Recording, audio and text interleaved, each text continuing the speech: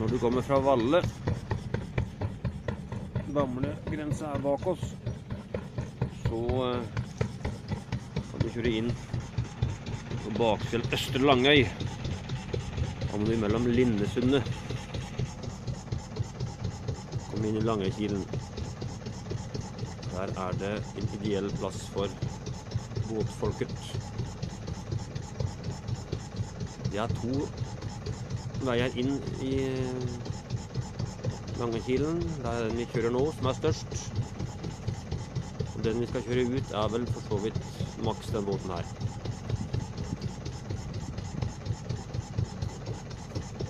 Her er det en veldig fin lagune. Plass til mye båt. Normalt veldig fint vær, eller fint og stille for alle vindretninger.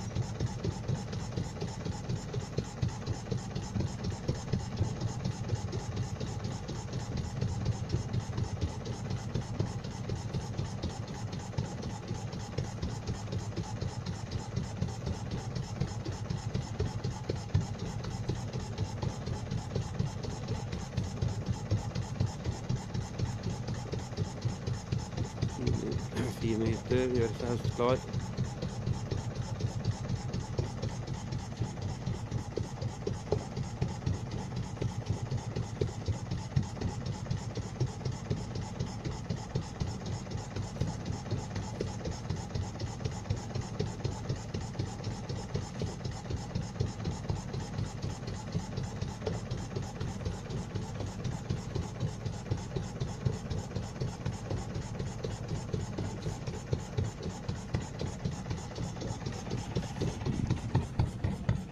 Der ser vi ut når vi kommer inn.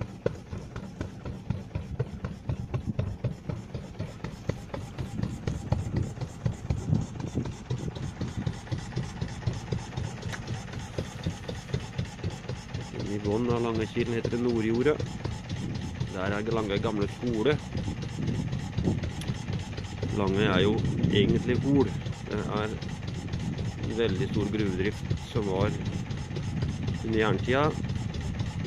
Da frakta de jernmalm ut fra Langøy, og de hadde dagslast med ved tilbake, for da ble gruvene drivende med vedfyring.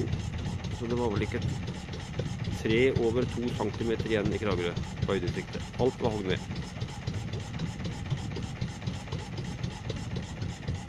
Her er det bra forhold til overnatting. Enda bedre litt lenger inne.